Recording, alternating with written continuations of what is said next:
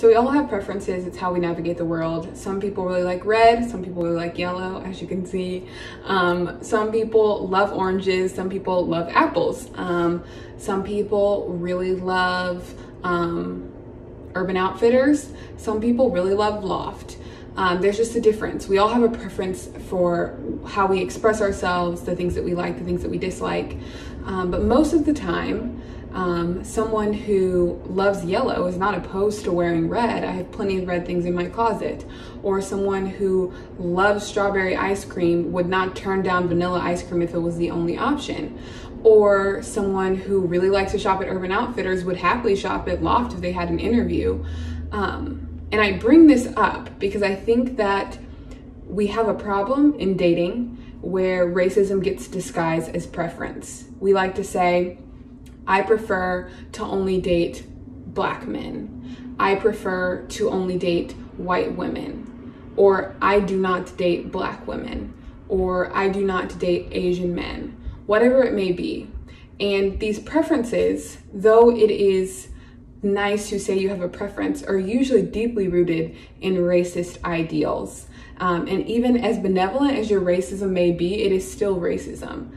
Um, and a lot of that is found in our very clear Eurocentric ideas of beauty. Um, so, what we consider beautiful um, is based off what we see in the news or what we see in movies or the fairy tales that we heard when we were younger. That is how we define beauty. So, when it comes to dating, that's the schema we use when we date.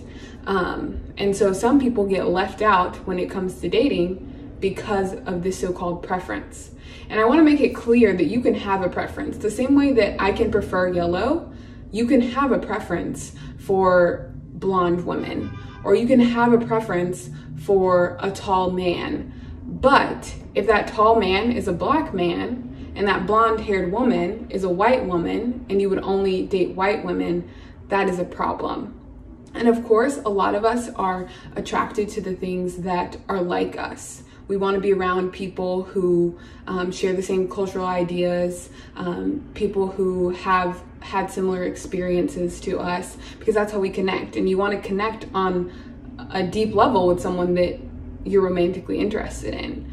Um, and so there was some research done that I think is important to bring into this conversation because we're only I think 53 years past Loving v. Virginia when it became legal for interracial marriage to even be a thing.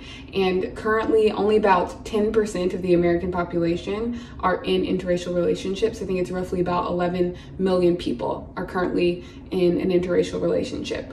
And when it comes to dating apps, I think we see this unfold very clearly because you have the the option to pick anyone you want and you have the option to filter who you don't want. There are plenty of apps where you can actually filter by race which is absolutely terrible should not be an option. Um, of course there's a difference between filtering by religion or filtering by um, whether or not you like to work out or you want to have kids, because those are things that you can control. But filtering by race and dating by race is inherently racist because that's not something that people can control. And you choosing not to date people because of their skin color is incredibly problematic. Um, and it's actually OKCupid did a study of their users on their app. And they found that black women and Asian men were labeled the least attractive um, by their users on the app. Um, and then Forbes also did a study and they found that 80% of white users message only white users. And then to top it all off, only 3% of messages sent on the app from white users were to black users. And then to top it all off, black users are actually 10 times more likely to message white users than white users are to message black users, which I find very interesting. And I think what's interesting too is that 3% of messages, I would guess probably about 2% of those messages are fetishizing people. Because that's another issue with dating apps. There's a clear fetishization that comes with dating someone of the opposite race.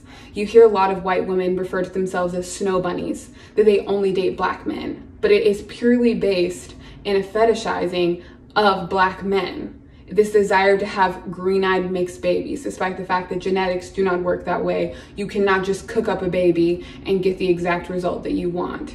And not only does it fetishize and sexualize your um, spouse or the person that you're dating it also sexualizes your children because they were created out of your desire to have mixed babies which is not okay and then on the other end, there's the fetishizing of black women or Asian women um, because they're exotic. They're, you know, you've never experienced them before. I've received so many messages on dating apps that are so terrible of men saying the most ridiculous things purely based in my race. Nothing about the things that I said in my profile, nothing about um, my sense of style, whatever it may be, the things that are in my control but instead, you're fetishizing me because you want to say something like, oh, I've never tasted chocolate before. Like, that's just so inappropriate. And the fact that dating apps actually allow that to happen is not okay. It's creating an environment when you allow things to be filtered for those things to happen, and it's not okay. And so I think that one way to maybe begin to solve this problem because I think that it is rooted in racism and it's rooted in the Eurocentric idea ideals of beauty. It's going to be a hard thing to dismantle. But I think that one thing that's important is for people to examine where their preference comes from. Does your preference come from a dislike of other people that are different from you? Does your preference come from the fact that you don't you only think that Eurocentric um, beauty standards are beautiful? Um, is it that you have a stereotypical idea about black women in your head where you say, I don't want to date a black woman because she's loud and she's angry? Like where your preferences coming from. Because it's okay to have a preference. It's okay to like blue eyes. It's okay to like blonde hair. It's okay to like curly hair. It's okay to like tall. It's okay to like short.